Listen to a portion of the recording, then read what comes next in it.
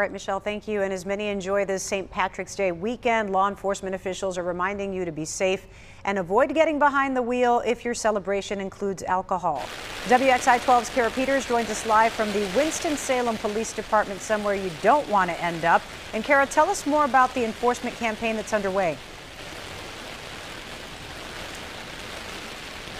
Hey there, Christine. Well, it's called the Booze It and Lose It campaign, and you can expect to see increased law enforcement officials from now until March 19th. Now, I was able to speak to a local bar on what people should remember if they plan on going out.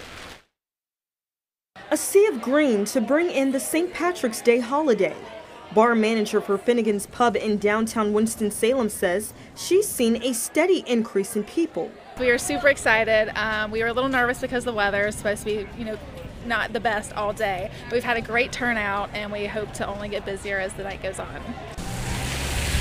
And while some decided to drive to the festivities, Southern says that hasn't been the only way people came to celebrate. Many using Uber and Lyft services as well. All the time, all day, every year. It is great how the community comes together to get everybody home safe. According to a release by the North Carolina Department of Transportation, there were 225 alcohol related crashes over the 2022 holiday weekend, resulting in 11 deaths.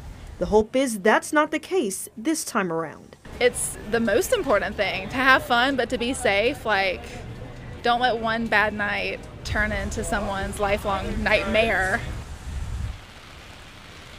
And Christine, I can tell you, despite the rain, we have already seen an uptick in patrol. And as a reminder for those that are heading out in this weather, keep in mind that this campaign will be going on from now until March 19th. We are live in Winston-Salem. I'm Kara Peters, WXII 12 News.